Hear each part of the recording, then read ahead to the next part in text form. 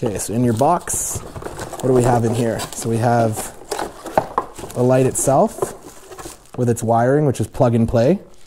Awesome. And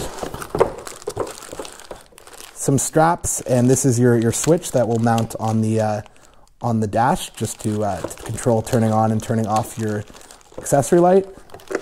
And the other thing you want to do is uh, go to instructions.brp.com, type in the uh, model number or the, uh, part number for, for the light, and they'll give you a full manual, step by step, exactly how to install everything with pictures. And there's a template that you'll have to print out, and this basically uh, sits over here. So you got your, take off your key, this sits right in here, and that's where you drill your hole to put the, uh, the light switch. So super easy, you just gotta follow the steps and take your time, and uh, we're gonna go through that now step by step. So the two tools you're gonna actually need for this is a center drill, which I have here, and a 6.5 millimeter or quarter inch drill bit. And that's it, everything else is provided in the box. Okay, so the first step uh, in this whole process is to take off our hood. There's lots of videos on YouTube to do it, but we'll show you guys. So what you're gonna wanna do, first thing is, well, this isn't the first thing. The first thing would be to open your glove box and there's two Torx bits right here. You're gonna take off. And there's one Torx bit here, one Torx bit here, and the same on the other side. And under the gauge, there's also two more Torx bits that you'll take out. And the last thing you wanna make sure is right over here. If you can see in there, you probably can't because it's dark. This screw over here, you want to loosen that because that's your air intake so that when you take off the hood, uh, it comes off nicely and doesn't pull on that tubing. The other thing I forgot to mention, guys, is um, what you'll need is a T a T25 bit to take off uh, all the all the Torx screws uh, to pull off the hood. Uh, the machine does come with a T25 Torx, but I find it a hell of a lot easier to use a ratchet, so that's what we're doing. Let's get to it.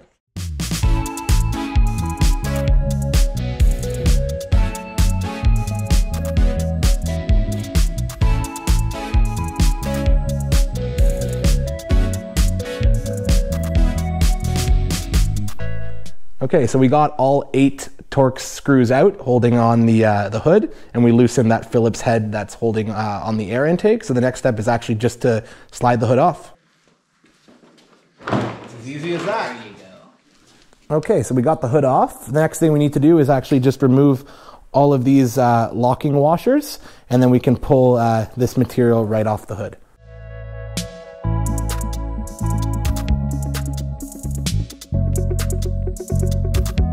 A few moments later. More moments later. So a little tip to getting these little grommets washers off, get the screwdriver to bend these little tabs out, and then just kind of twist, and as you twist, they kind of come up. They're a real pain. Yeah, they're a huge bitch to take off. Uh, the good news is that they actually send you a new set of them, so you don't have to reuse the old ones. And then once those are all off, this just comes off nicely like that. Okay, so the next step, we're gonna flip the hood over.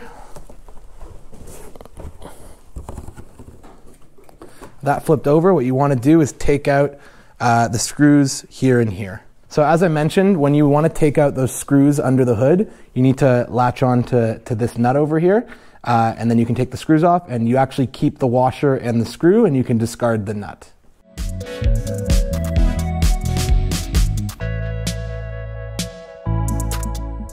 So the next step is to actually uh, disconnect the lower half of the lamp harness just so we can uh, get this wiring through. So there's a little slot here where you want to actually route this through. And then that sits nicely right in that slot. Once get all the wiring, the slack of the wiring through. There it is. There we go. So that's slid in nicely. And then we have this wiring through and there's a track for the wiring to sit. Okay, so as I mentioned, we want to fasten the, uh, the light on. So it's just the same stock screws that we took off before, and we're going to put those uh, on.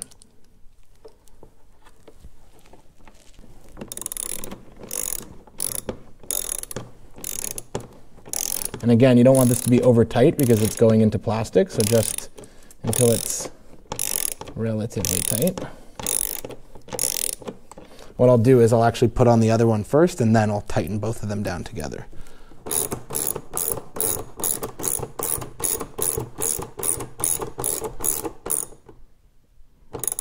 So just till it's roughly tight, you don't want to over tighten it.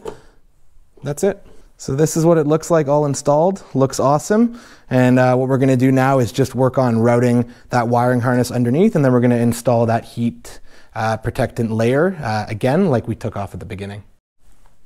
Okay, so now that we got the uh, the wire routed through, you have a little um, area here where you fasten down the um, wiring. So I'm just going to grab that through. Get that in there. I'm not going to tighten it down fully, just to guide where we want the wiring. There we go. Perfect.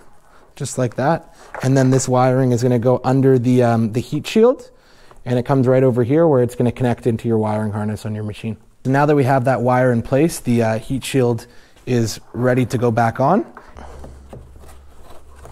There we go. And with that in place, they give you uh, new these metal washer things that clamp them down. So we're going to go ahead and uh, put those back on. So we got our template uh, that we cut out, printed from instructions.brp.com, and you'll see uh, there's a marking. Yeah, so there's four holes you want to drill here, here, here, and here. And we're going to get a little piece of scotch tape just to hold this down. Or bright yellow electrical tape, that works too. So before the centering drill, uh, we're just using a really small bit to drill out these marks. Then we'll use the centering bit. And then we'll end off after the centering bit by using that drill bit. Just to be a little more precise. Yeah.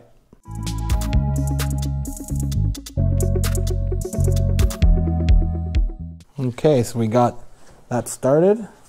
That's clean. Looks clean. And now we're going to go with the, uh, the center drill and drill out those holes.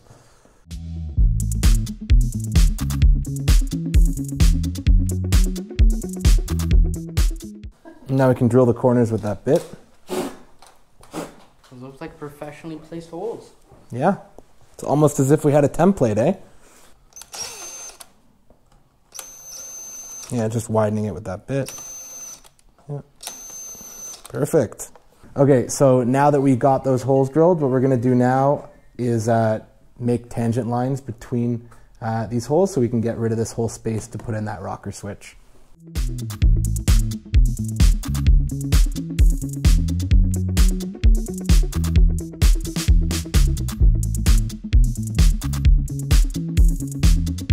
One eternity later. So after we drilled the holes, we took a utility knife, very carefully scored all the way around. Uh, we used a little straight edge, this guy right here, just a little ruler. Um, scored all the way around, very, very slowly broke through. And then what we did was we took a file and we just filed it until it fit and it fits very snug and it's in there nice and solid. Looks like it's free from the factory. Now that we got that switch installed, we're going to uh, plug in the cable. So in the instructions uh, that we downloaded, it tells you. So the red goes to the uh, SW2 connector, and the purple or the violet goes to the SW4 connection. So when you're looking at the rocker switch, the the side where the um, headlight is on, so when the switch is forward, that closest connection to the front is your your red connector. So I'm going to go ahead and install that.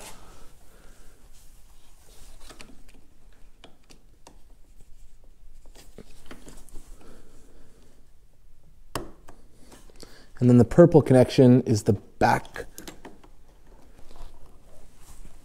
And there we go.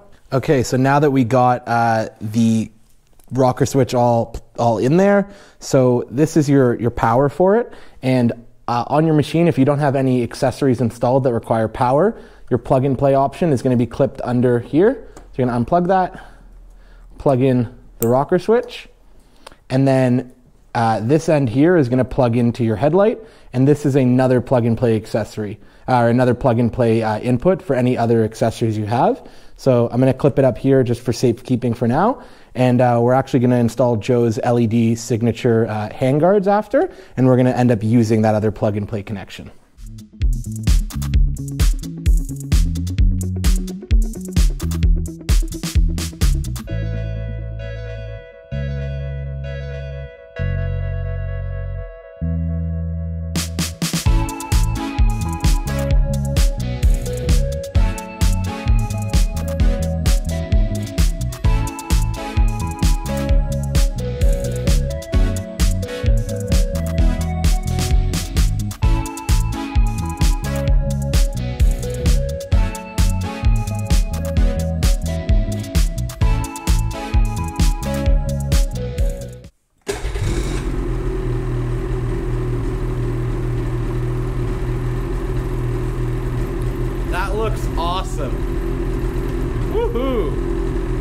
Guys, so that was our video on the uh, LED uh, accessory light by Ski-Doo. The install takes a little bit of time, but once you get the hang of it and if you follow the instructions from BRP, it's not too bad. And if you have any questions on the install, feel free to shoot us a message or you can send me an email at jesse at. Thanks for watching, guys. If you liked that video, be sure to hit the like button and subscribe to the Sledaddicz YouTube channel, where we release content on everything snowmobiling. Also, hit that bell icon so you can be updated every time we release new videos.